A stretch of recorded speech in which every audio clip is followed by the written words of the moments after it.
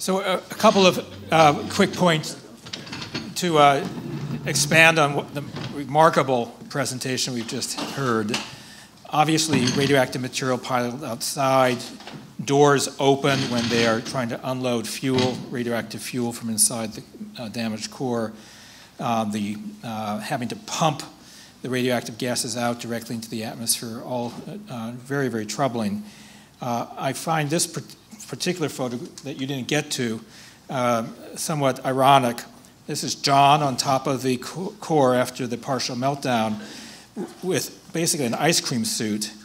And uh, it says on his hat, Your safety is our business, Atomic Interna- Atomics International. Um, yeah. So, um, this is how we found out about it. I showed this to you, I believe, at our first session in February. Um, st- students working with me at UCLA when I was teaching there in 1979 came across records um, of the uh, partial meltdown uh, uh, tagged for us by Dorothy Boberg, who had done a study um, sometime earlier that had uh, discussed the accident but had some difficulty getting some of the other documents. And you'll notice that very complex technological term on the far right, melted blob. Um, you don't want fuel to melt. Um, when it melts, radioactive materials can be released. Uh, here are other photos of the damaged fuel. Uh, so you may have heard some people claim that there was no partial meltdown and that there was no melting of fuel. Um, the fuel had cladding, kind of like a uh, curtain rod with the fuel pellets inside it. And the uranium fuel and the cladding formed a eutectic, which is a low melting alloy that melts at a lower temperature than either the uranium or the cladding alone. And the evidence is crystal clear there was melting of the uh, fuel, including of the uranium. Secondly, as John points out, there was no containment structure. And indeed, what you've described as you, what you remember from being in that control room at the time um, matches and expands on what the records indicate, which is that they were having trouble with the reactivity in the core and they decided to pump the radioactive gases out of the core in order to try to see if they could uh, uh, uh, solve the problem. As you heard in the film footage, it's just extraordinary. They had a power excursion, power, which means the power goes on excursion, on a trip. It increases exponentially in fractions of a second. And they could barely shut the reactor down, but after a year and a half, uh, an hour and a half, only an hour and a half, of not being able to figure out what caused it, they started it up again and ran for another two weeks in the presence of very high radiation readings. And again, no containment structure. Uh, radioactive material was put, uh, put into these uh, tanks and then intentionally uh, released into the atmosphere for weeks. And what's particularly troubling about all that is how the Atomic Energy Commission and the company that ran the facility for it, then called Atomics International, a division of North American Aviation, um, kept it secret for five weeks and eventually released a press statement uh, embargoed for Saturday morning papers. Some of you who are old enough will remember that if you want to kill a story, you embargoed it for Saturday morning papers. The title says Fuel Element Failure, nothing about melting fuel. And it says that a parted fuel element was observed. Singular, one, not melting, just that it had parted. And what's really remarkable are these statements. The fuel element damage is not an indication of unsafe reactor conditions. It was one of the more serious reactor accidents in um, uh, certainly in nuclear history to that point. Um, the, no release of radioactive materials to the plant or its environs occurred, and operating personnel were not exposed to harmful conditions. Um, as you heard, the uh, radiation monitors went off scale um, they were having to uh, vent stuff and they were venting radioactivity into the atmosphere at the, at the, very moment that they issued that press statement. And they said the occurrence is important only from a technical standpoint. So the Atomic Energy Commission kept this secret for 20 years until NBC was able to break the story. Um, so we have several members of a panel who are going to expand on this a little bit from their experience. And the first is Dan Parks, Dan also worked in the SRE, the sodium reactor experiment, but after the accident occurred. And um, I, I, wanted to ask you a couple of quick questions that may help uh, explicate this. Is your mic on? Yes. Super. No? Yes, can you hear? So you were sent into the SRE building to try to clean off radioactivity from surfaces. Is that right? Correct. How did you clean off the radioactivity? What Uh, uh, fancy equipment were you provided to get the radioactivity off of these surfaces? High-tech equipment, which was uh, Bactine, which we've probably all seen in the drugstore. It's a uh, antiseptic solution, and we use uh, feminine napkins, Kotex, because they were highly, highly absorbent uh, of whatever's on the floors and walls. So So the radioactive contamination on the walls and floors was cleaned up using Kotex? Kotex and Bactine, yes.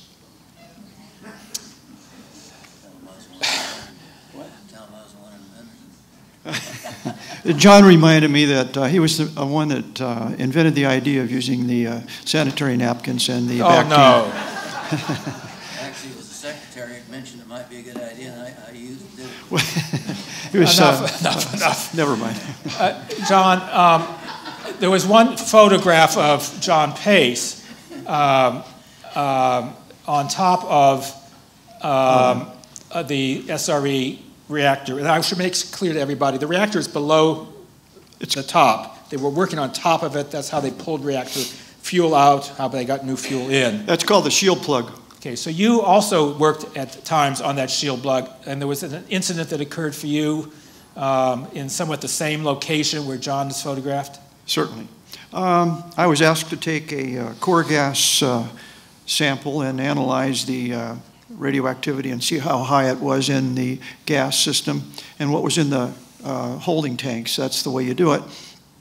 And in doing so, you're required to go out on the uh, shield plug where John, you saw him laying on the plug.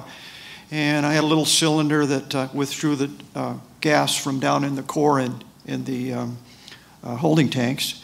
And uh, in doing so, I got contaminated myself.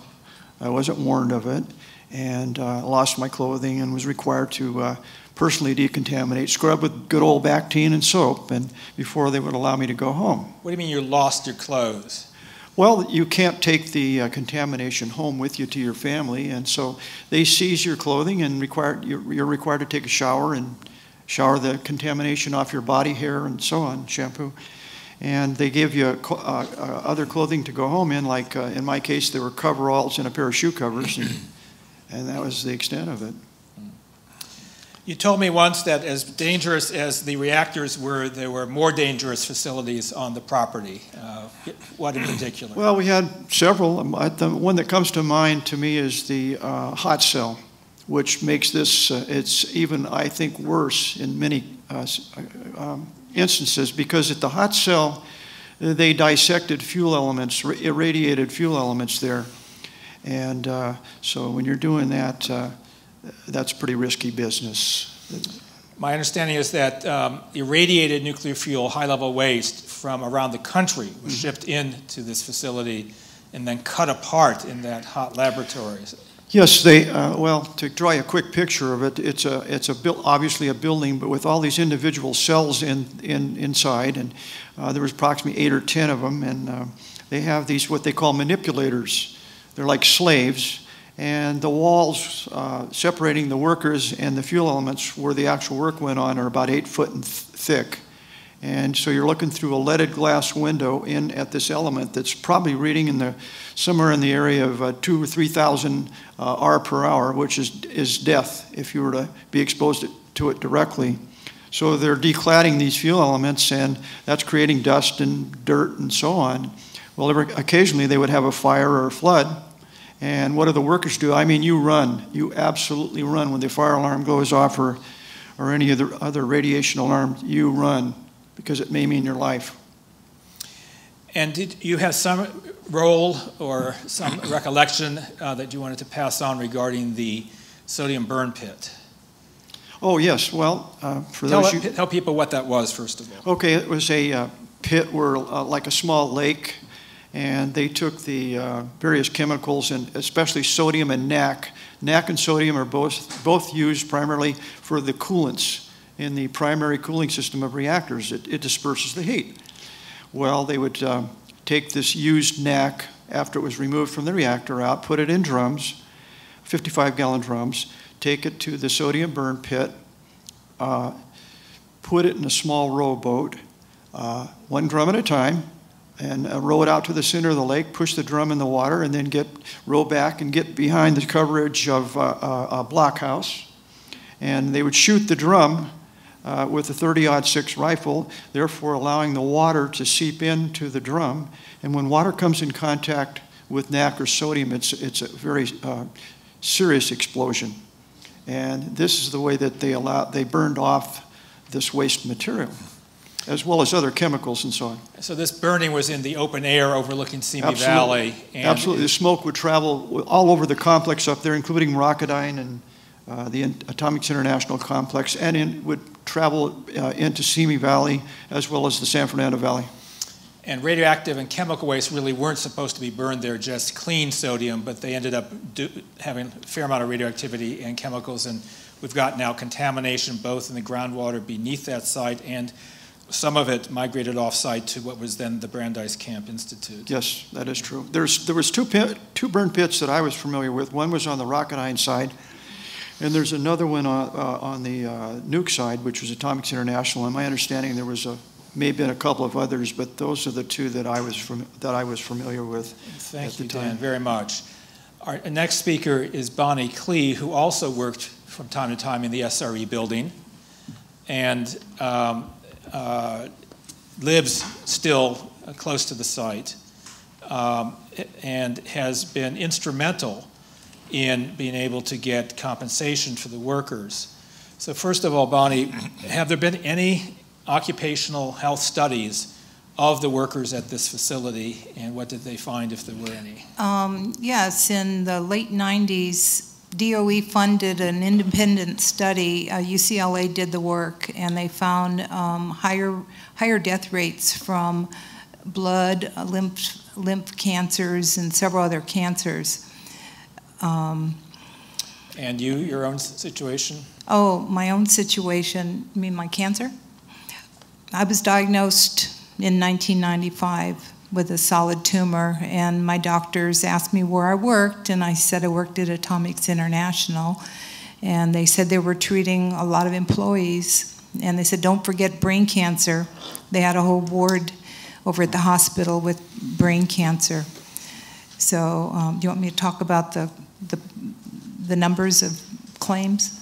Let's now deal with that. So, that study showing excess cancers for the workers, my understanding is contributed to a decision by the U.S. government to create a compensation program. Why don't you tell us about that? Yes, that? in 2000, President Clinton signed a compensation program for all the Cold War workers.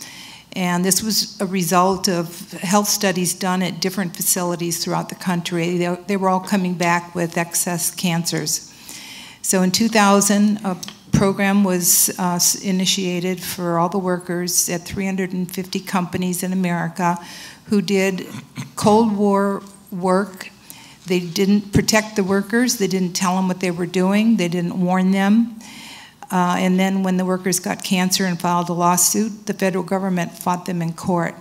So this new compensation program, the Energy Employees Compensation Act, was passed. And um, so I, I was number 83 was my claim in the whole country. I got in early because I read about it in Seattle. Got my claim in, and by 2006, uh, I was denied. They, they had no data to deny me. They, what they have to do is do dose reconstruction. Well, they didn't have any data, so they used surrogate data from another facility. And they said, no, you didn't get 50% dose. Um, and I looked at the claims. We were the lowest compensated company in the whole country. Less than 10% of our workers were getting compensated. And they have um, what they call the um, special exposure cohort. If you get denied, you can file a, an appeal. So I did that on behalf of all the workers, that filed it in 2006, and they accepted it. By 2010, all of the Downey workers were paid. All of Canoga was covered because they had one monitoring program that covered all four facilities. So Downey, Downey is finished, Canoga is finished. I'm still working on Santa Susana and, and uh, the DeSoto facility. So, with your assistance, how many uh, former employees or survivors of former employees um, uh, have been compensated to date, roughly, or how much money has been provided as compensation? No, I didn't, I didn't bring the number of people, but so far, the workers have been compensated $154 million for their cancers. And I'm still working on it.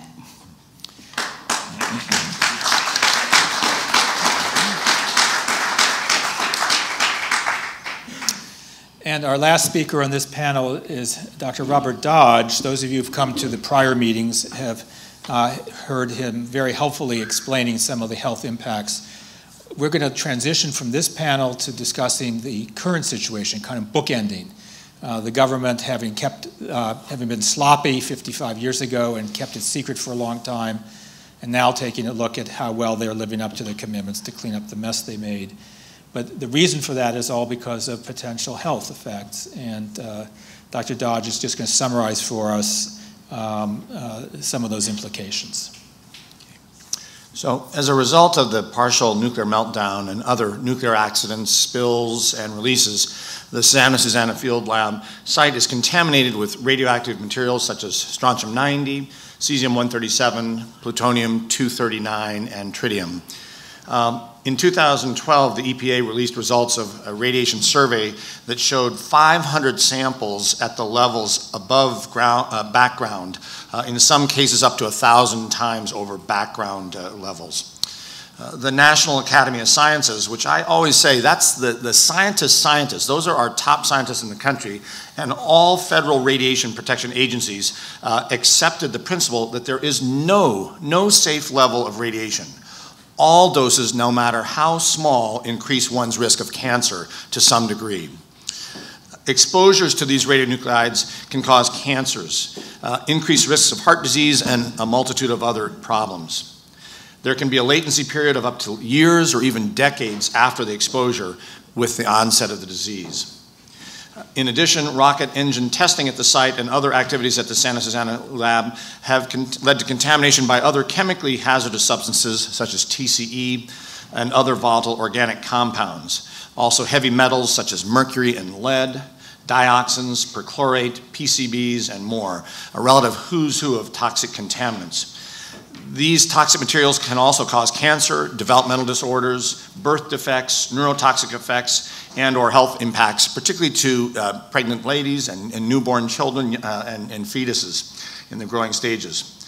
At our last work group meeting, Dr. Adrian uh, Katner presented the results of a multi-year study uh, funded by the Federal Agency for Toxic Substances and Disease Registry about how people could potentially become uh, contaminated from the field lab runoff. The report also confirmed that toxic substances have contaminated the soil, groundwater, uh, surface water, and have been released into the air at the site, and some appear to have migrated off-site to neighboring areas uh, and at levels of significant health concern. Several other health studies on the health impacts associated with the exposures have been concluded.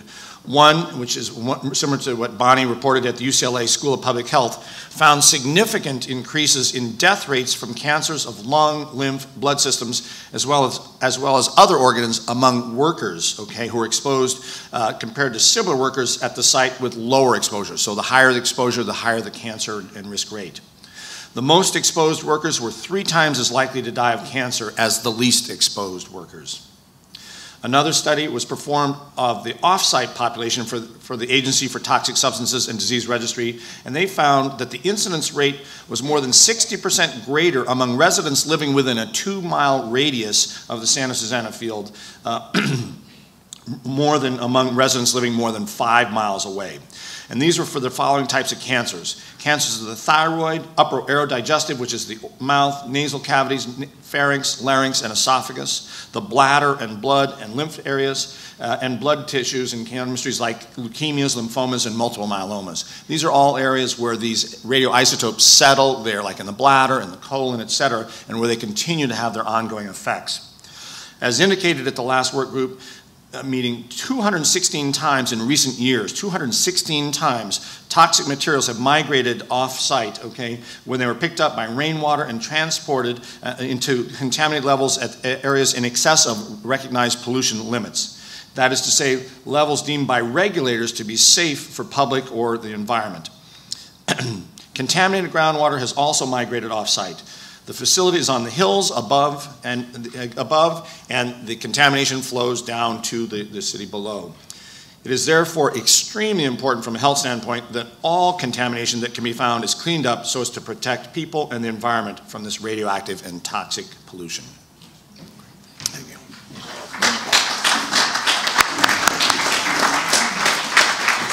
Dan, I just remembered how many people filed claims. We have uh, 3,800 workers who have filed claims for cancer. And how many do you think have gotten the claims? Um, Only one-third have been paid so About a far, thousand then. out of, th- out of 3,800. Okay, uh, what we're going to do now is we're going to have a few questions uh, because what we really need to discuss is the current situation, which we've transitioned to somewhat, which is the contamination that's on the site today and um, efforts to clean it up uh, or not. Uh, So if we could have some house lights, again, we're to, we'll have another extended uh, Q and A after we talk about the cleanup, but we do want to give a chance for people right now to ask a few questions. Uh, We've got Cindy Gortner here, and Chloe Weigel with uh, Teens Against Toxins.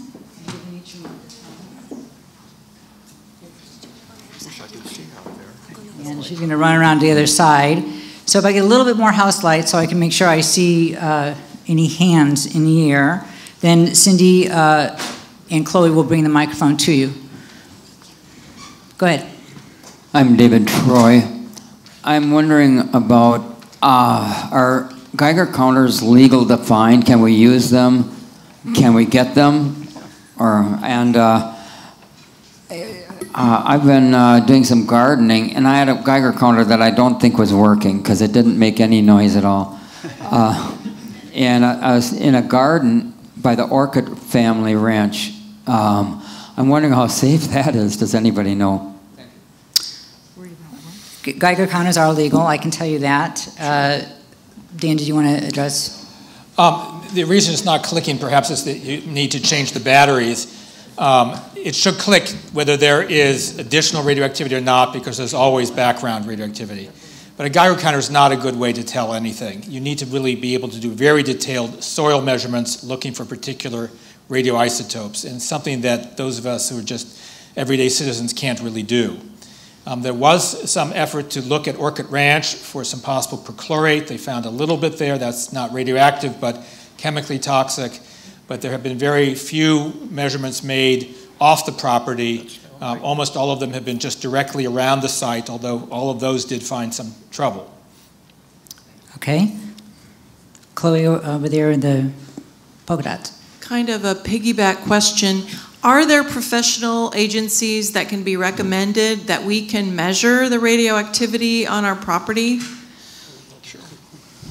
Right by Runkle Creek is our concern, but I'm sure there are a lot of other areas as well, because we don't really know in our areas how severe it is. So, how close are you to the development at Runkle Ranch? I think three to four miles, I hope. Oh, okay. I'm not sure. But the creek borders on our property. Okay, so Runkle Ranch uh, was found to have um, some significant levels of strontium 90. It's a radionuclide that concentrates in the bone, can cause bone cancer and leukemia, has about a 30 year half life, dangerous for about 600 years. Um, it was controversial. The developer brought in another uh, contractor who got lower readings, though still some readings, and agencies have approved the development. Um, you're much further away. It is really hard to make measurements for yourself or to find a laboratory to, to do this and then to be able to compare those measurements to something else. And so uh, I, we're all at two questions kind of similarly, and I basically will give you this answer. If you want to feel more protected, you need to get the site cleaned up so there's no longer a source. That's the rest of it. it does- There's not much we can do, but to get rid of that source, that's the key thing that we have to do. The contamination on the hill that wants to go off the hill. Okay, someone on this side of the room? My name is Ralph Powell. I was a sergeant in security at Atomics International from 1962 to 1968. And I'm wondering, my question is, what's the chances of tracking in radiation to the family. I lost my only son from leukemia. 1967, my wife had breast cancer. Dan Parks would like to answer that. Dan, go ahead. Dan Uh, Parks. you were, uh, Did you work at Santa Sue? Your chances were very good because uh, all you were probably only wearing is a film badge, and, and I don't think you probably were required to monitor your clothing or yourself when you went home. And we had a lot, we had a lot of airborne, huge amounts of airborne activity being released from, would we have about eight running reactors up there at any given time. And uh, you could run across it and not even know it. It would be, it could be airborne, or you could maybe touch something and still not realize it. And I would think that, uh, like where John worked, I mean, the activity was so high on the floors and the walls and in the parking lots, on cars. So I would think that you're right on the money with that. One quick, I want to ask John, you had one slide you weren't able to show us, and it kind of makes this point. You want to explain what this is? I don't know if you noticed there, see, marker here, I do that too, but I'm gonna be talking about this gentleman right here. I'm gonna talk about this gentleman right here. This was, uh, Dr. Fox right here. He's wearing, uh, regular street clothes. He's not even dressed down like all the rest of us are over here. He's, he was the person overseeing the, the, the SRE. He, what, he, he thought he was too good to be able to have to dress down like the rest of us. He thought he knew he was special, so. So that's why I put that uh, picture on there. He was our, he was our boss right there, see? so, but uh, talking to that about the gentleman just spoke just a minute ago, taking it home, uh, you can do that very easily because with the SRE reactor, just my experience, uh, 24/7 radiation was coming out of that reactor, going all over the hill. It could be the ones in Rocketdyne. It could be anywhere on the hill. You was being exposed every day you was there, because with the SRE reactor, with the, the type of works going on, and no containment building to hold it in, you you went home with it on you. So that's what my wife worries about too. Yeah, I'd like to, could I comment on that? Um, In my experience with the workers, a lot of them were told when they went home to wash their clothes separately or bury them in the backyard. Um, Also, I knew some workers at the plutonium building, after they had a large explosion, and uh, they went home in their clothes, and the Atomic Energy Commission had to go in and test their house and for, um, for plutonium. So it did. It went. It was on us. Uh, Delaney, did you want to say something now about some of the work you're doing, and then we'll go to the other side of the room? Uh, Cindy, can you give the mic to Delaney? I'm Delaney Blaze. I'm with the aerospace.org and uh, Core Advocacy. Uh, for a while now, I've been helping workers of areas one, two, and three try to navigate the Energy Employee Occupational Illness Compensation Program that Bonnie spoke about earlier. Um, one thing that is a problem with this program is that Area 1, 2, and 3 workers are not included or considered to be eligible to apply. One of the reasons is because when the act was enacted by Congress, the Department of Energy, I think they realized that by saying they were exclusive to Area 4, they would minimize their liability to environmental cleanup and to the workers. However, history shows us when we review historical documents that the Department of Energy was very active in areas 1, 2, and 3. There was waste dumping, there was waste disposal, there was operations and facilities in areas 1, 2, and 3. There was a lot of undocumented worker rotation into and out of nuclear areas, a lot of waste transport. And in order to even access Area 4, you have to cross 1, 2, and 3 in order to even get there. So I think what we need to do is make sure that we uh, acknowledge history and we look at the historical documents, most of which are hosted on the Department of Toxic Substances Control website, which are being ignored, and make sure that we ask for a radiological survey of areas 1, 2, and 3 in their entirety. That we get these workers included into this program and that we make sure we get a complete cleanup. Okay, thank Thanks. you. Uh, oh, one more, uh, Chloe, uh, uh, William Bowling, and then we're going to move on to the next section, and then we'll have more question and answers at the end. Hi, William Preston Bowling, Aerospace Contamination Museum of Education. My question is for Robert Dodge. Um, during the couple of weeks of this meltdown, uh, they uh, released uh, radioactive gases into the air. And anyone who knows the history of Simi valleys and the San Fernando valleys, we had uh, milk and beef and oranges. Um, how does that affect those? Sure. Well, the, the thing about the radioactive isotopes is, is they're taken up by all living things as, as though they were essential life-giving uh, compounds. Uh, the, the strontium-90, the body looks at as potass, I'm sorry, as, as calcium. So, and, and again, and that's actually where PSR, the physicians group, got their Nobel Peace Prize because uh, the release of atmospheric uh, strontium-90 from nuclear weapons tests released strontium-90, and it wasn't very long before American physicians found strontium-90 in the baby teeth of humans, okay? And so when human babies are having, uh, are radioactive in their teeth, later to go on to develop leukemias and things like that, it wasn't long before President Kennedy immediately signed unilaterally the, the, the limited test ban treaty. And that um, doesn't, it, that's not unique to nuclear weapons. It also, in this, in this nuclear meltdown and, and atomic uh, uh, reactions, you release the strontium-90. So all things that potentially use calcium, such as cows or cow's milk gets contaminated. Uh, cesium looks like potassium to the body. Potassium is universally taken through all parts of the body. And again, they have half-lives of 30 years, but in medical terms, it takes 20 to 30 half-lives to make them inert. So that's 600 years they remain uh, effective. Uh, Plutonium-239 is the most toxic substance we know on the planet with a half-life of 24,000 years, requiring a half million years to, radi- to, ma- to render it you know, medically inert. So these are incredibly toxic things. That's wherein we, again, we, we emphasize there is no safe level. You can take it in now, but it just sits there and, and, and emits and emits and emits and emits, okay? And if you're lucky and you don't get it in, within years or decades I think that's great. But I mean, you never know. You're never outside that risk. So, Dan, could I have Don- uh, Dan Parks talk about the bird cages that were brought in? No, No, it's an important No, no, story. The plutonium bird cages, they're not for birds. They're, they're- they brought in um, uranium, We need to move quickly for, on to next, but why don't you tell the story, because I don't think I've heard it. Okay, it's an important story. Uh, bird cages.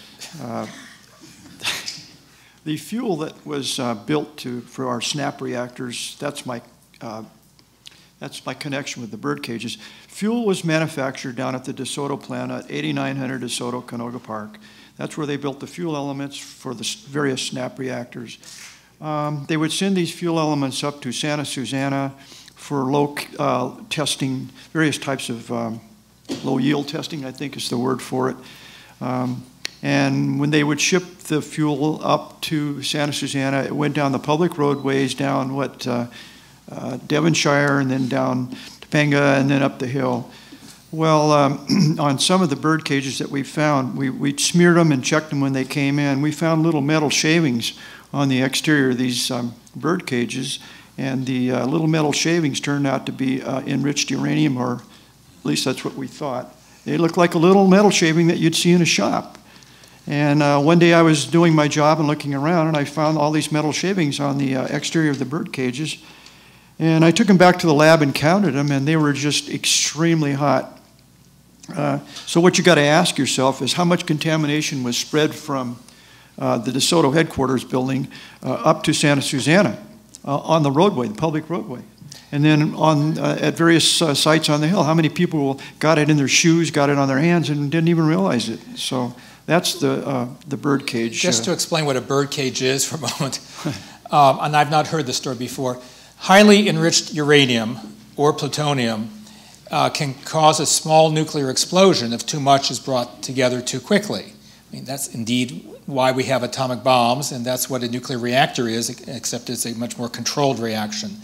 So, to keep the material from reaching a critical mass, they put a subcritical amount inside what they called a bird cage so that you couldn't get another bird cage close enough to it that supposedly you would get a critical mass and it could blow up.